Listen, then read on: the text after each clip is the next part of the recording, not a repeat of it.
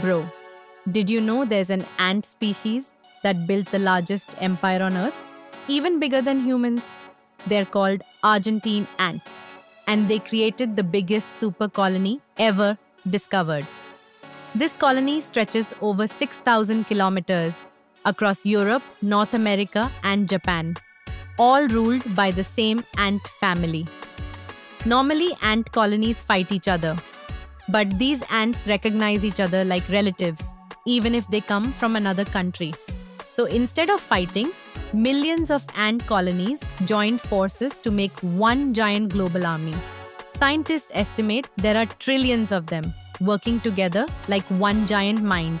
And this super colony is so powerful that it is wiping out native ant species everywhere, dominating entire ecosystems. So, yeah, bro, there's literally a global ant empire taking over the planet right now.